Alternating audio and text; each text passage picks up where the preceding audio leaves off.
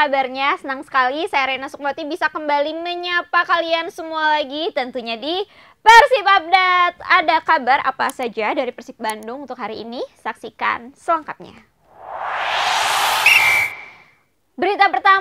Ada kabar dari nuansa peringatan hari ulang tahun kemerdekaan Republik Indonesia yang ke-78 tahun di suasana latihan para pemain Persib Bandung di Stadion Gelora Bandung Lautan Api atau GBLA pada hari Kamis kemarin 17 Agustus 2023. Dalam sesi latihan tersebut hampir seluruh pemain hadir kecuali Beckham Putra Nugraha dan juga Robi Darwis yang kita tahu ya bahwa mereka sedang mengikuti training center atau pusat pelatihan bersama Shin Taeyong di Timnas Indonesia U23. Selain itu, para pemain tampak mengikuti program latihan dengan mengenakan pita merah putih yang dipasang melingkar di kepala atau tangan sebagai tanda turut merayakan kemerdekaan Republik Indonesia. Bahkan Rahmat Erianto, Edo Febriansa, Ezra Walian, Erianto hingga Nick Wipers mengatakan sebuah kata yakni merdeka yang kerap disampaikan sebagai bentuk syukur bahwa Indonesia telah menikmati kemerdekaannya. Selain itu, terkait teknis pelatihannya sendiri, asisten pelatih Persib Bandung yaitu Yaya Sunarya menerangkan bahwa Persib Bandung sedang mencoba memaksimalkan penguasaan bola dengan membatasi jumlah operan sebelum melepas umpan kunci dan melakukan penyelesaian akhir. Lagi-lagi ya, para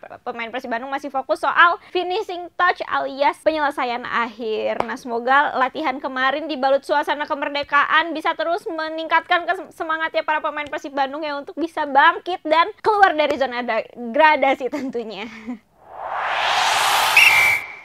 Berita berikutnya nih ada kabar dari Komisaris PT Persib Bandung Bermartabat ya atau PT PBB yaitu Umuh Mutar yang berencana mengkaji dan mengevaluasi ulang performa timnya untuk bisa bangkit dari keterpurukan. Hal itu karena Persib Bandung saat ini sedang terpuruk di zona degradasi yang panas dan rawan hengkang ya dari Liga 1 musim 2003-2024. Kalau di zona degradasi terus sampai akhir musim tahun depan bisa bye gitu lagi jadi degradasi ke Liga 2. Nah, terutama nih soal Persib Bandung Bandung yang gagal merebut kemenangan melawan Marito Putra di Stadion Gelora Bandung Lautan Api atau GBLA pada hari Minggu 13 Agustus 2023 lalu. Nah meski demikian Umum Putra sendiri menilai para pemain Persib Bandung sudah memberikan performa yang cukup baik.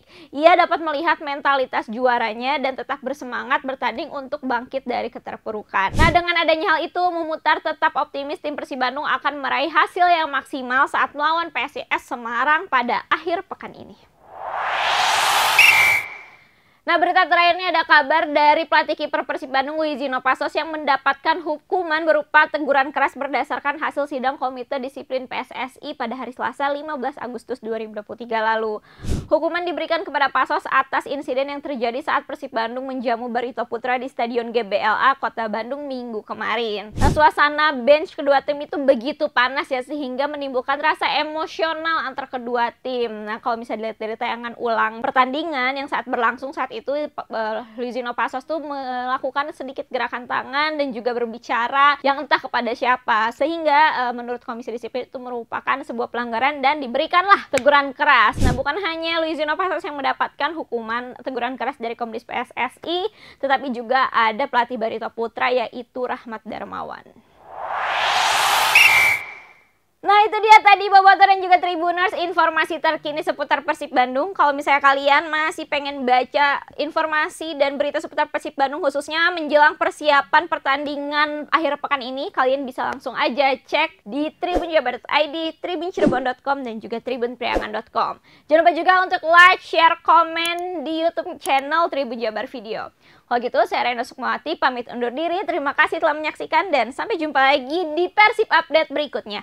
Bye, Persib Bandung! Persib Bandung!